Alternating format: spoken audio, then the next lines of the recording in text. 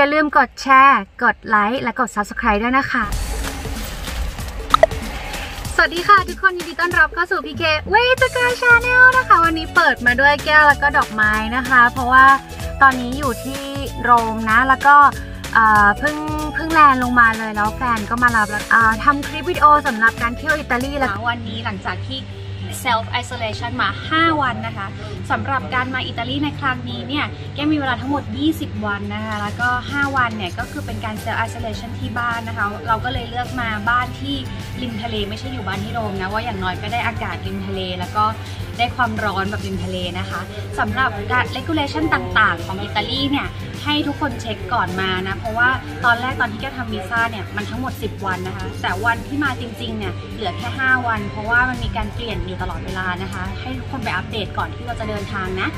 ในส่วนของวันนี้ค่ะ หลังจากที่เซ็ตอัลเลชันปุ๊บก็เหมือนเป็นฟรีนะ เราก็จะไปที่โพซิตาโนนะคะอัลมาฟีแล้วซอร์เรนโตแล้วก็อาจจะมีเมืองเล็กๆ แถวๆ นั้นอีกนะคะ เดี๋ยวบรรยากาศจะเป็นยังไงจะเก็บภาพมาชมกับคุณแฟนนะ แล้วก็บอกเลยว่าอากาศอิตาลีซัมเมอร์เนี่ยร้อนมากๆค่ะร้อนแบบไม่มีแอร์คนบ้านเขาไม่ค่อยใช้แอร์กัน แล้วก็มีพัดลมน้อยมากนะคะ ฉะนั้นใครที่มาอิตาลีช่วงนี้เนี่ยช่วงซัมเมอร์เนี่ยเอาพัดมาด้วยนะนี่ลืมเอามานะคะ ก็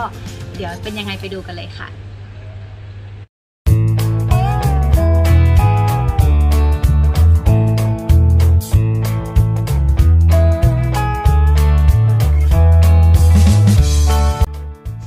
อันนี้เนี่ยค่ะที่แก้วถ่ายมาให้ดูนะคะ เพื่อจะให้เห็นว่าทางที่จะไปโพซิตาโนเนี่ยมันเป็นทางขึ้นภูเขานะคะ ฉะนั้นทางค่อนข้างที่จะคดเคี้ยวนะคะ ใครที่ค่อนข้างที่จะเมารถนะก็แนะนำว่าต้องเตรียมตัวนิดนึงนะคะ แล้วก็ขับช้าๆขับอย่างระมัดระวังและปลอดภัยนะคะ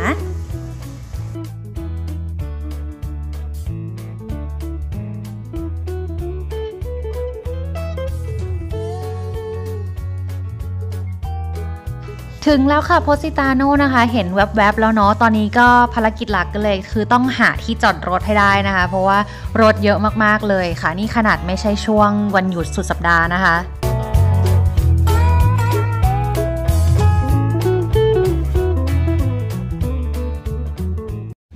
ตอนนี้นะคะก็ถึงโพสิตาโนเรียบร้อยแล้วนะคะ จะบอกเลยว่าใครที่มาโพสิตาโนนะต้อง จำทางหรือว่ารถสาธารณะเท่านั้นนะ เพราะว่าเอาจริงๆมาด้วยรถตัวเองเนี่ยหาที่จอดยากมากแล้วก็ที่จอดรถเนี่ยมันแบบว่าแพงด้วยนะคะ เราวนรถอยู่มันชั่วโมงครึ่งเพื่อหาที่จอดรถนะ แล้วก็ที่จอดรถ 15 ยูโรต่อชั่วโมงนะคะ ข้างหลังก็เป็นพัทยาโน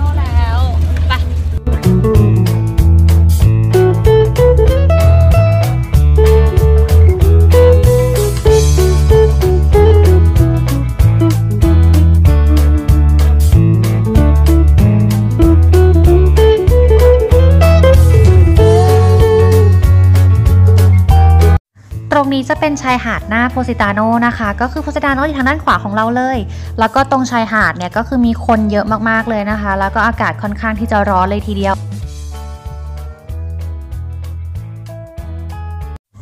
คนเยอะมากๆเลยนะคะ แล้วอิตาลีเนี่ยเขาไม่ใส่แมสก์เวลาอยู่ข้างนอกกันแล้วนะคะ แก้วกับแฟนก็มีความกลัวเนาะเราก็เลยใส่แมสก์ค่ะ เพราะว่าเราอยากจะปลอดภัยเนาะแล้วก็เลยเดินใส่แมสก์กันข้างนอกนะคะ ข้างหน้าทางเดินของเราก็จะเป็นโพซิตาโนค่ะ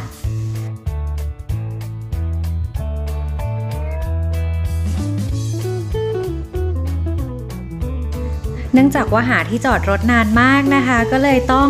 แวะขอของกินเล็ก ๆ น้อยๆผวกกัดน้ำสักนิดนึงนะคะ เพราะอากาศร้อนมากๆเลยค่ะ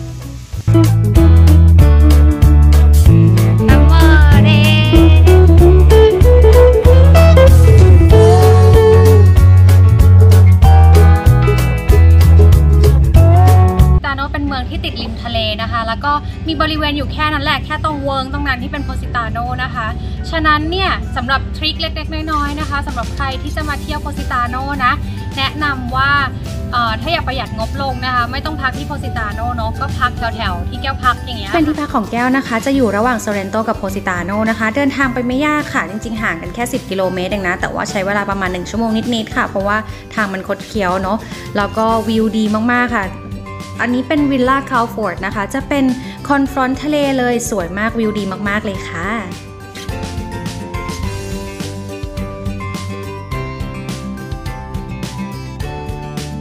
เอาเป็นว่าใครจะมาโพซิตาโนก็เตรียมตัวกันให้ดีๆนะ ที่จอดรถต้องมี หรือว่าใครที่ไม่ชอบคนเยอะๆเนี่ยก็ลืมไม่ได้เลยนะคะเพราะโพสิตาโนคนเยอะมากๆ แล้วใครที่คิดว่าจะไปลงหาดอะไรเงี้ยอาจจะไม่ชอบใจเพราะว่ารู้สึกว่าแบบ